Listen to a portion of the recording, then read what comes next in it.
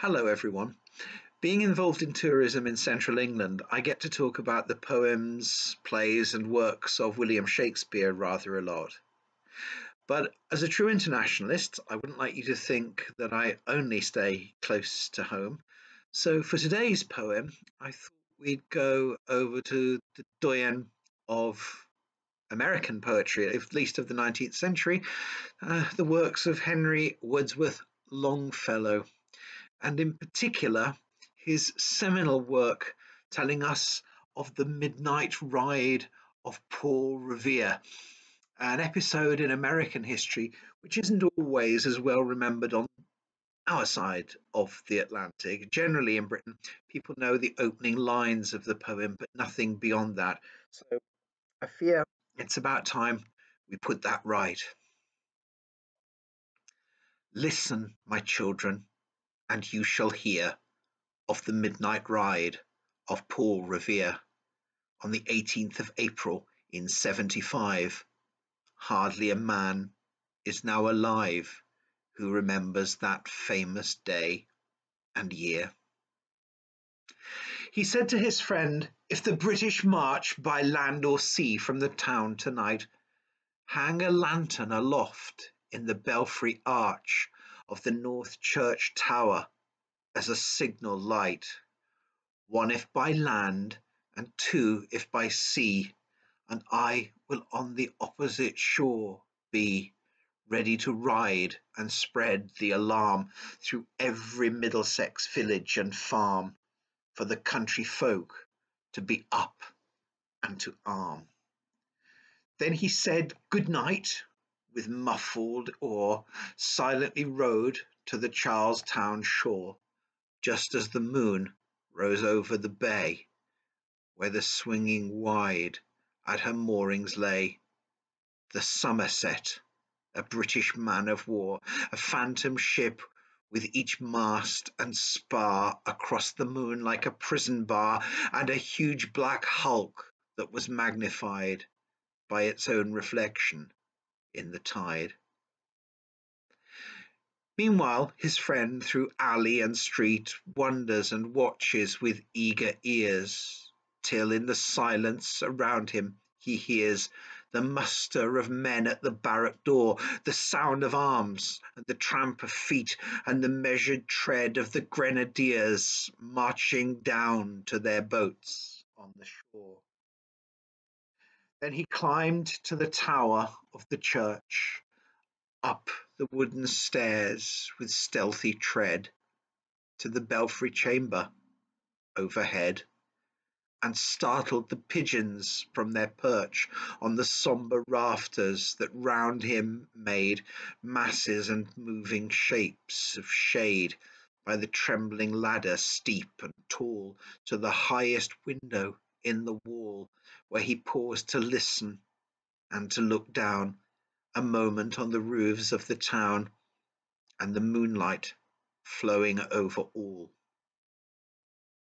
Beneath, in the churchyard, lay the dead in their night encampment on the hill, wrapped in silence so deep and still that he could hear, like a sentinel's tread, the watchful night wind as it went creeping along from tent to tent and seeming to whisper, All is well. A moment only, he feels the spell of the place and the hour and the secret dread of the lonely belfry and the dead. For suddenly all his thoughts are bent on a shadowy something far away, where the river widens to meet the bay, a line of black that bends and floats on the rising tide like a bridge of boats. Meanwhile, impatient to mount and ride, booted and spurred with a heavy stride, on the opposite shore walked Paul Revere. Now he patted his horse's side, now gazed on the landscape far and near, then impetuous stamped the earth and turned and tightened his saddle girth, but mostly he watched with eager search the belfry tower of the old North Church as it rose above the graves on the hill, lonely and spectral and sombre and still. And lo, as he looks on the belfry's height, a glimmer, then a gleam of light, he springs to the saddle, the bridle he turns, but lingers and gazes till full on his sight a second lamp in the belfry burns. A hurry of hoofs in the village street, a shape in the moonlight, a bulk in the dark, and beneath from the pebbles in passing, a spark struck out by a steed that flies fearless and fleet. That was all. Yet, through the gloom and the light, the fate of a nation was riding that night, and the spark struck out by that steed in his flight kindled the land into flame with its heat.